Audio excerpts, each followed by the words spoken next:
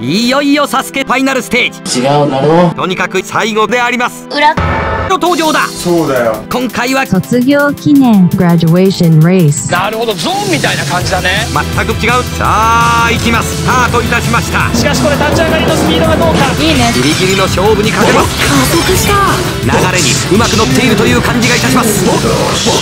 上り坂パワーに任せていくか。もう一度お曲がれ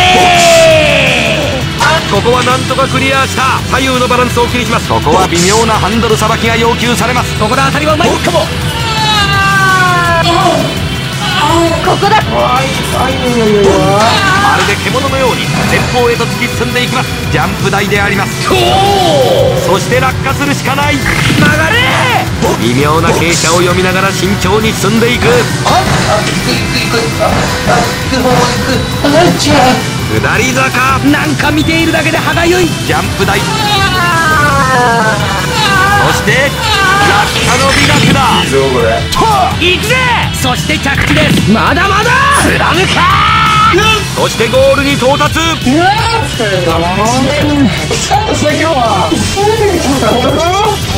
やめんな。あともうちょっとのところなんだから。了解した。次だ。ニューヨーク。であります懐かしい。その通り。やってやる。やってやるぞ。あと一つですね。はい1234320なんて置いちゃう輩が。多いんだよね。ダメだよ。どんな簡単な点でも釉薬振り切って。ピー。ンボケよ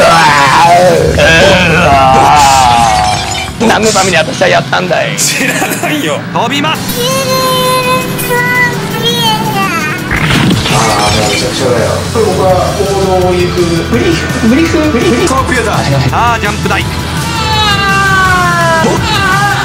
いあいいよいいよ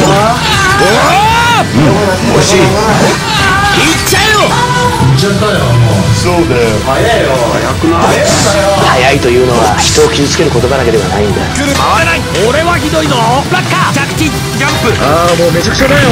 かなりの高さがあります。怖い怖い怖い。落下の美学を見せてしまった。ああ行きます。あーっと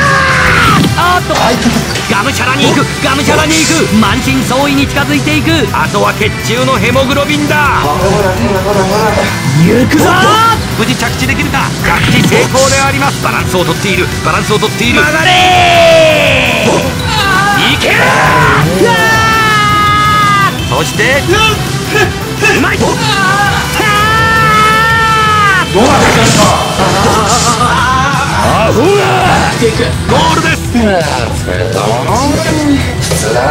まあこんなものだろう。お疲れ様でした。でもまだ頑張ってもらいたい。そうだよ。よろしく頼むぜお願いします。また会おう